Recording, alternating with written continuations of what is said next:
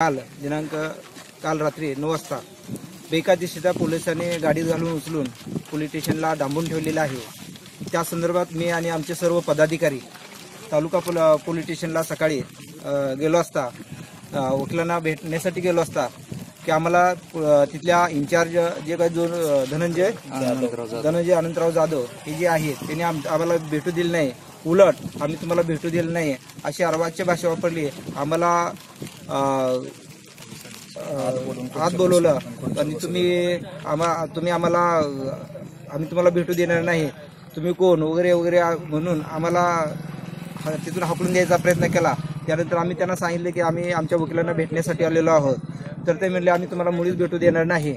आणि आज चला म्हणले. आणि आज चालल्यानंतर गे- आत हॉलमध्ये गेल्यानंतर आम्हाला म्हणले की तुम्ही आमच्या परवानगीशिवाय खुर्चीवर बसायचं नाही. तुम्ही उभे राहा.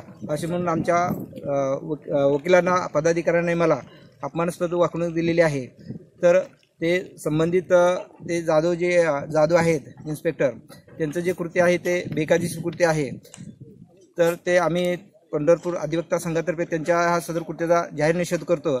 आणि त्यानंतर या- येणाऱ्या काळामध्ये म्हणजे सोम तेरा तारखेला आम्ही त्यांच्या सं- त्या संदर्भात एक ठराव करून जोपर्यंत त्यांचं निलंबन होत नाही तोपर्यंत आम्ही कोर्टात कामबंद आंदोलन असणार आहोत.